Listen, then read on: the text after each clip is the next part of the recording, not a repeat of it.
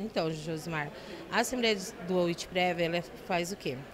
A Assembleia Geral, onde vamos prestar a prestação de contas do que é gasto, do que entra, de onde está investido o dinheiro dos servidores né, efetivos e os pensionistas e aposentados. A Assembleia é voltada para eles, né?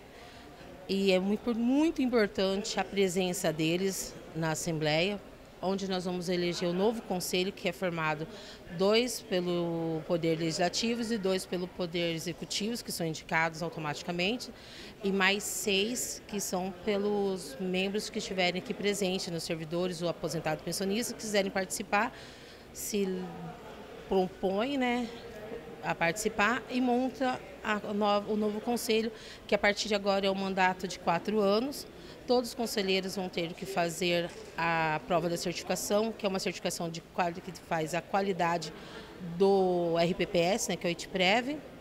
É, isso hoje o fundo ele tem um peso muito grande, né? Assim, o peso não, ele é uma importância muito grande dentro do município.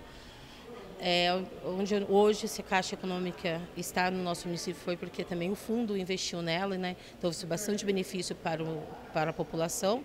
Então, eu convoco, né, eu convido, né, na realidade, aos servidores e aposentados do ITPREV, que são servidores públicos aposentados e os ativos, para comparecerem amanhã às 19 horas aqui na Prefeitura Municipal para a Assembleia. Bom, Aí a gente também vai falar sobre a prova de vida. Ou esse ano nós vamos ter o censo em novembro, né, que é para ativos e inativos dos servidores municipais. Então, eu conto com a presença de todos vocês.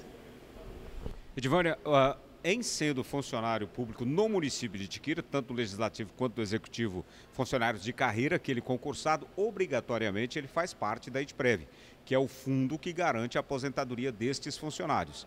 Como é que é a participação nas assembleias, no dia a dia desses servidores que fazem parte deste fundo. Há uma preocupação por parte dos servidores, como é que está sendo gerido, como é que está funcionando, como é que funciona todo o procedimento, ou é mais ou menos aqueles de sempre, que está sempre ali procurando, questionando, como é que funciona a participação desses, dessas pessoas que, na verdade, a, a ITPREV gere o futuro delas? Infelizmente, Josimar, Josimar, a nossa participação dos servidores, os inativos, alguns se interessam, mas sempre são os mesmos. Nós fazemos assembleia, antigamente era a cada dois anos, né? Então, a partir do ano que vem, a gente vai começar a fazer anual para fazer a prestação de conta e é agora cada quatro anos muda a presidência, né, o conselho. É muito pouco, é muito baixo. Nós somos 711, se eu não me engano, hoje, servidores públicos e a gente não consegue trazer 20. Aí sempre fica acabando sendo os mesmos desde o início, desde 2010, acaba sendo sempre os mesmos que estão dentro dos conselhos, por falta de participação dos outros servidores. Né? É, eu firmo aqui que nós, como servidores, tantos tanto nós ativos e os inativos, o fundo é nosso, é dali que sai a nossa aposentadoria. Precisamos sim participar, fiscalizar, vir na Assembleia pelo menos para ver saber onde está sendo gasto o seu dinheiro, onde está sendo aplicado, porque nós só temos despesas mesmo com aposentadorias e com os benefícios, aposentadoria e pensões, as, é, com a agenda que faz a nossa assessoria, o Consprev, que nós temos, que é a associação dentro da MM da, dos RPPS, a DataPrev, que é a que dá o sistema para a gente, a gente paga o sistema para poder fazer essa aposentadoria, que é a única empresa no, no país que gera esse sistema, e uma internet que a gente paga porque para nós é melhor ter uma só para nós, não usar da prefeitura, devido ao sistema serem bem pesado. Então não temos uma despesa muito grande, o que é repassado para nós, graças a Deus, não é ruim, mas o que falta é a participação dos servidores mesmo. É uma, vamos dizer assim, eles têm que entender que isso é muito importante. A vida final deles, a vida deles está hoje dentro do ITPREV. Então a participação deles é muito importante. Mas eu espero que esse ano, vai, pelo que eu observei, tem muita gente interessada, pelo menos de vir na Assembleia. Já para mim é muito gratificante. Não, não, seria questão de conscientização também por parte do ITPREV, de fazer campanha de mobilização junto a esses funcionários? Às vezes porque passa desapercebido, porque o funcionário às vezes ele não se tocou ainda que isso é de fundamental importância e crucial para a vida dele, porque a aposentadoria futura dele está no ITPREV. Se por um motivo ou outro, por uma má gestão ou outra, aconteceu uma quebradeira, a aposentadoria dele foi embora. Na realidade, em relação a aposentadorias, eu sempre é, ah, o Itprev faliu. Os que estão na folha do Itprev, do Itprev recebendo como pensão e aposentadoria passa a ser uma folha à parte a mais para a prefeitura.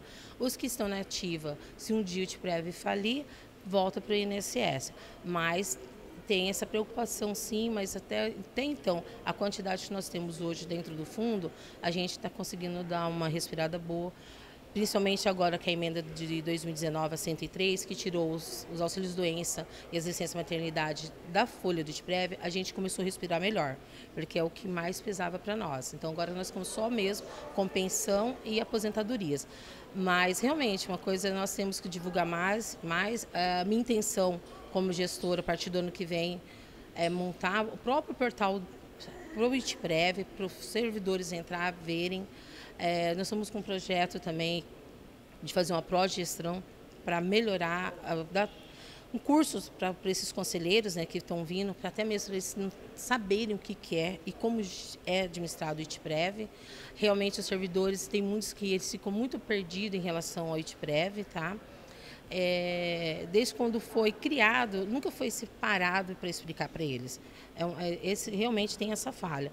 Mas eu já sentei com o prefeito, o senhor Fabiano, nós vamos começar a trabalhar isso. Então, agora esse ano, em novembro, nós vamos ter o censo, que tanto para tanto para o inativo como para os ativos, né? até mesmo para poder atualizar os dados cadastrais deles dentro do órgão. Mas fica aqui para eles que nós vamos começar a fazer uma campanha mesmo mais de divulgação. Ficou essa falha mesmo de desde quando foi montado em 2010 o TPEV. Obviamente que esse dinheiro que é descontado do funcionário, ele vai para uma conta X. Só para a gente entender, para a gente compreender, para aquele funcionário também que não compreendeu. Esse dinheiro ele é aplicado, de que forma que ele é aplicado, quem decide aonde esse dinheiro vai, ou já quando foi criado o ITPREV, já havia se definido aonde que esse dinheiro pararia, onde ele ficaria, como é que ele ia funcionar, até mesmo para ele continuar eh, gerando dividendos para, lógico, garantir essas aposentadorias futuras. Não, sim. Nós hoje aplicamos todo o dinheiro que é arrecadado, eles vão para a conta de fundos de, de, fundos de investimentos. A gente tem aplicação no Banco do Brasil, na Caixa Econômica, no Sicredi daqui de Tiquira e no Sicredi de Ouro Branco. Por que alguém questionar por que o Sicredi de Ouro Branco? Eu tenho pensionistas aposentados lá que precisam receber. Como lá é o único banco que tem na cidade, então nós aplicamos dinheiro lá também para ajudar, para poder ajudar o banco a se manter lá. É, são todos de, é, em fundos, que, no que eu digo, com aplicações em. Não é a palavra que eu vou dizer? É, em bens de, do governo federal. Então a gente aplica só em notas do, do governo federal. Então a, a maioria do nosso dinheiro fica mais no Banco do Brasil e na Caixa por serem órgãos federais. Então tudo nosso é, que é aplicado é dentro da, do dinheiro que tudo gerado pelo governo federal. Esses fundos hoje, uh, Edvane, você pode dizer para a gente mais ou menos, sem ser especificamente o número exato, hoje mais ou menos, o Itprev teria quanto em carteira? Ah, hoje, mais ou menos, a gente deve estar em torno de uns 40 milhões ou mais, tá? Então, até que a Assembleia agora já vai vir com o número exato até dezembro de 2023. A gente pode pensar assim, ah, é muito dinheiro, é um volume muito grande, mas é, é, um dinheiro a longo prazo, né? Quanto mais as pessoas forem aposentando, mais esse dinheiro vai sendo retirado. É feito um cálculo atuarial a todo ano. Exemplo, do ano passado, a gente faz estimativa de 35 anos o cálculo atuarial. Ele aí já vem avaliado, é a pessoa que em relação à aposentadoria, pensão.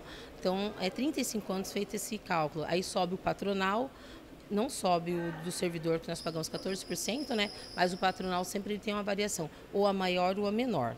E na emenda de 2019, ele passou a pagar o patronal 14% igual nós, servidores, e hoje já está em 24,50. Então ele teve um aumento bem gratificante, a arrecadação nossa aumentou bastante, devido agora com o novo concurso, com a entrada dos novos servidores, para o ITPREV foi bem melhor que a arrecadação melhorou, mas também tem aquela, esse cálculo autorial, os 35 anos. Eu não sei as pessoas que estão tá entrando, que está vindo na bagagem dela. Tem pessoas que podem trabalhar daqui 10 anos e se aposentar com tempo de contribuição de 30, porque eu não sei o que, que ela trabalhou lá atrás, o que, que ela contribuiu lá no INSS, você entendeu? Então, é por isso que é feito o cálculo autorial anualmente, para ver essas, esses 35 anos que a gente vai ter essas despesas, né? Então é programado essas despesas. Você falou da questão do patronal, só para a gente esclarecer. Da mesma forma que o funcionário paga, o município paga também a mesma quantia. Como você disse, agora está nos 14%, né? Ou a mais ou a menos. Hoje tá, o patronal hoje está 24,50. Então ele vai subindo anualmente. Tem uma taxa que faz o cálculo, a Trel faz, fala, ó, e esse ano vai pagar tanto. Então começou em 2019, eles estavam pagando 27. Com a emenda 103 de 2019, igualou 14% tanto para o patronal como para o servidor. E o patronal todo ano foi subindo. O que não sobe é o do servidor. Nós pagamos 14% hoje, que às vezes os servidores não sabem, para não pagar o pedágio igual o INSS paga. O INSS paga 8% e nós pagamos 14%, para não precisar de pagar o pedágio. Eu vou para aposentar com 25 anos, no INSS você não aposenta mais a especial. Você tem que ter a idade, é, dependendo de cada caso, né? Tem umas regras lá que você tem que seguir, mas hoje o, o INSS você tem que pagar um pedágio. E o ITPREV, para não pagar esse pedágio, nós passamos a pagar 14%. E o patronal hoje, ele está, ele, conforme os anos do cálculo anterior, ele foi subindo. Está pagando 24,50 para nós. 24 24% e meio, né, que a gente fala. Só para a gente reforçar então, Edvânia, sexta-feira, a partir das 19 horas, auditório da Prefeitura Municipal, teremos a Assembleia Geral da ITPREV, então, só para reforçar novamente o convite. Sim, eu convido a todos os servidores inativos de Tiquira e Ouro Branco para comparecerem aqui no Paço Municipal, aqui na Prefeitura Municipal, às 19 horas, para a Assembleia. A prestação de contas, né? Vai ser falado sobre a prova de vida, que a partir de agora ela vai ser anual, e também sobre o censo, né? E a prestação de contas para vocês, servidores e inativos, ficarem cientes de quanto nós temos, né? De tudo que é sendo gasto. Conto com a presença de todos